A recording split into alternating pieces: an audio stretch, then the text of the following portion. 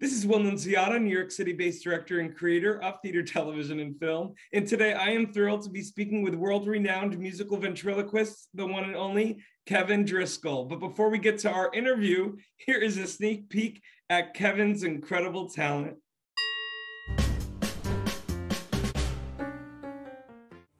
How do you know who the dummy is? The one carrying the suitcase. That's true, I guess. Ready? Here we go. One, two, three,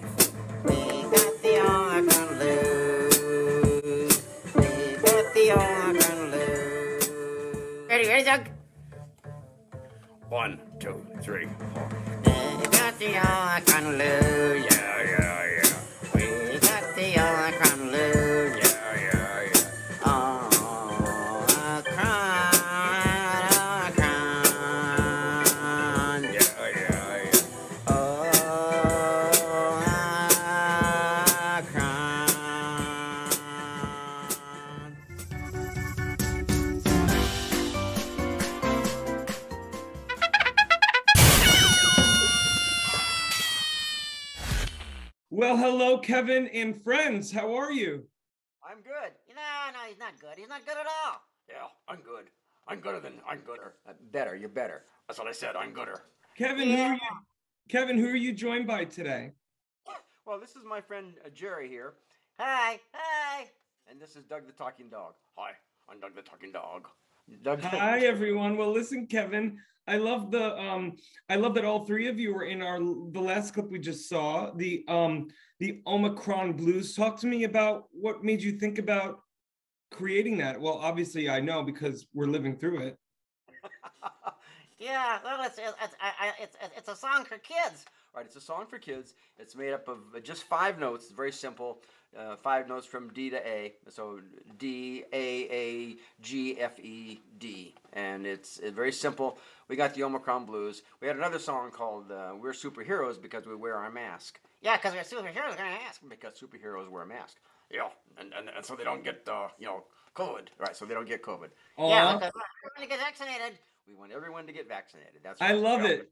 You're do- well, you're all doing God's work. You're kind of like a 21st century Mr. Rogers meets I don't know. I mean, I, I, I wish I had you to watch on PBS growing up, Kevin. And I want to know though, Kevin, first and foremost, where were you born and when did you realize that you had a love of ventriloquism? Well, I was born in Sumner, Nebraska. Tiny town, tiny town. It was a very tiny town, Sumner, Nebraska. How, how tiny was it? It was 236 people. But, uh, you know, we even had a zoo. Had Yeah, we had to close the zoo. You had to close the zoo. Why? you had to close the zoo? Yeah, we had to close the zoo. Why? The chicken died? Yeah. You're laughing at his own jokes. But uh, yes, I, I was I really was born in Sumner, Nebraska. Population 236 people, and I was watching the ventriloquist on the black and white Ed Sullivan uh, show uh, back in the in the 60s. I was I'm you know I'm I'm old. He's really, really old. Not that old. I didn't come over on the Mayflower. Was it Noah's Ark? No, it wasn't Noah's Ark. It was um, it was just amazing that these ventriloquists could make the puppets talk. Yeah. And I didn't really um, well I, when I came to Boston, I, I I saw Jeff Dunham, and he I don't know if you know who he who he is. Of but he- course. but he's the number one, uh, and, and plus he's a really nice guy. Yeah, he's, he's not, not not like you. He's a good guy. Yeah, yeah, right, okay, okay. But um, but Jeff has always been amazing. His career skyrocketed when he invented Ahmed, and I was I was watching uh, Jeff Dunham taking my son to see his shows uh, long before before Ahmed, and it, he always impressed me. But also the ventriloquist on the Ed Sullivan Show, the Edgar Bergen and with Charlie McCarthy and and Señor Wences with his hand puppet Yeah. and and all of the uh, all of the ventriloquist. So I always enjoyed it, and quite frankly, I was uh, I was the GM for an internet company, so I was pretty busy with uh, with my with my life and trying to keep things going with the company and everything. And I thought I was having a heart attack. So anyway, went to the doctor. The doctor said, uh, "Well, you know, I, I know you like the big bucks, but you're not going to be around if you if you keep it up. The stress was was really it was killing me." Wow. So what? So I decided that uh, I wouldn't do that anymore, and I became a uh, full-time children's entertainer, entertaining children ages two to 102. Yeah, not very good though. Yeah, he's not very good. Aw. Hey guys, be nice to Kevin. Now listen, I want to know too, Kevin, well, you are excellent. And I love your trademark line. We learn better when we laugh. I think it's something that we need now more than ever. I'm curious to know during this time, did you feel that your your skill set was needed now more than ever? You know, especially helping those people out there who needed a little boost. Well, I, don't know. I I don't think I'm that good, uh, but I know that I needed to do something because all of our events in March 2020, all of our events at at daycare centers and senior centers and schools and libraries and the, all of our Cub Scout events, everything was canceled. And I belong to a group with, the uh, ventriloquist workshop and and a worldwide uh, ventriloquist uh, uh, organization. And someone said, you know, we should uh, do some Facebook live shows, and I didn't really know much about it, but so I thought, well, that sounds good. So I started it on Wednesday, April first, April Fool's Day. Yeah, because he's he's a fool. Right, right. But, it was but that was our first show, April first, two thousand twenty, and we've been doing two shows every every Wednesday ever since. And and now we have people from all over the world uh, attend. And if all of them, uh, if all my fans and all of our, our our viewers, if they all send us a dollar, you know, I'll I'll have two dollars. Yeah, I'll have two dollars. You guys are so funny. Listen, Kevin, I also want to know when you decided to kind of, you know, build out your brand in the formation of Driscoll Productions. Well, I was always a musician.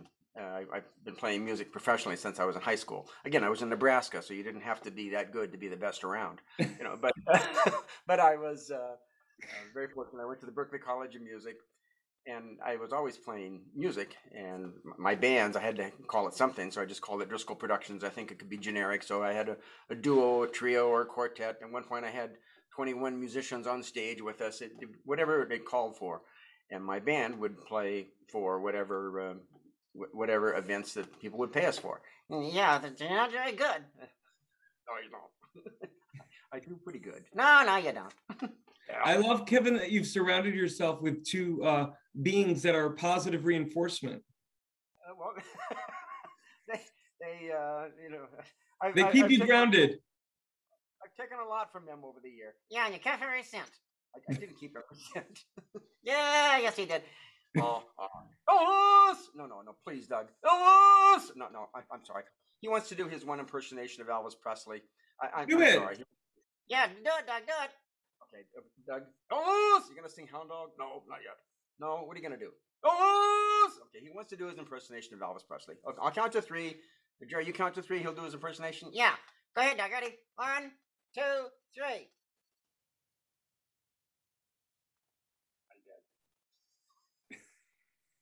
That's his impersonation of Elvis Presley, the singer that died a long time ago. Kevin, I could speak with you forever. Before we get going, I want to let our audience know for more on the amazing Kevin Driscoll. And you have to check out all of his videos, all of his songs, all of the people that he's had on his live shows. I'm so excited, Kevin. Um, all the links are right below this video. I'm excited because, you know, I've spoken with um, a few artists who are ventriloquists, but not quite like you. And these are ventriloquists all around the world. And I'm excited, though, too, for you in joining FENIX 360 within the app is a live stream option where actually you'd be able to do your live shows and actually dare i say besides venmo and zelle and wherever else you know people have been live streaming and how they've made money in the past FENIX FENIX has their own monetary system within the app so for people to go to your shows like you would to a theater you'd have to pay a ticket price and so i'm excited that you're joining this app just for that sake but let alone also meeting with other artists all around the globe. And I guess my final question for you, Kevin, is what are you most optimistic about in 2022 for you, your your your band of I don't want to call you puppets. You guys are you guys are, you know, whatever you want to, whatever you want to call it. You can't call you a dummy. You are a dummy. No, no, you're the dummy. You know who the dummy is? The one carrying the suitcase. Yeah. but I'm bump. I want to know what you're most optimistic about looking into 2022, Kevin.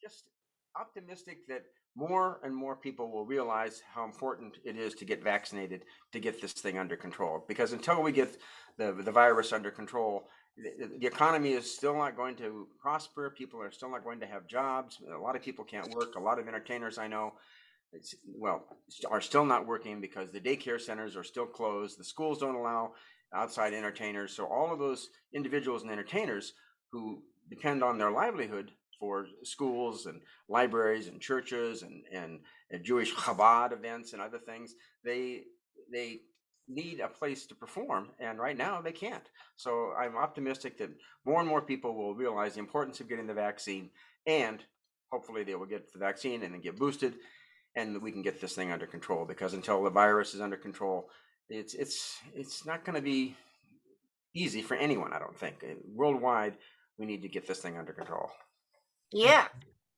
Did he say that? I know sometimes he sounds smart. Who knew? yeah, I don't. I don't know. I don't know. You know, so, uh, is that a cue card? What the heck? The three of you, it is so nice to meet you. But Kevin, thank you so much for spreading your light and your joy. And you know what? I'm so happy, and I'm sure many people are, that you were able to follow your childhood bliss. You know, you mentioned Ed Sullivan. I can't stop thinking about my grandfather who um, worked with him. He was an announcer for NBC for many, many years. His name was Bill Wendell, but um, he worked with Ed Sullivan. And, you know, when you mentioned that show, I can only imagine, you know, those old school variety shows. I wish they were around now because Kevin, you'd have your own. But you know what? It's going to happen for you as you continue to do your own shows in front of that beautiful green screen and making people laugh in a time when, you know, it's a little dark out there. It is, but again, hopefully people will get the vaccine and we'll get this under control and things will get back to the new normal. I don't think they'll ever be what they was, what it was before. But um, for for us, the the pandemic has been a blessing. It's because it's forced me with, with this, you know, requirement that I made for myself to do two shows every every week to come up with new material. That's right. The same jokes over and over. Yeah. Be nice to Kevin. Listen, Yeah. Um, it is so nice to meet all of you, Kevin Driscoll, everybody, and God bless you. And I'm so excited that we are now connected. Awesome. Thank you very much. Thank you very much.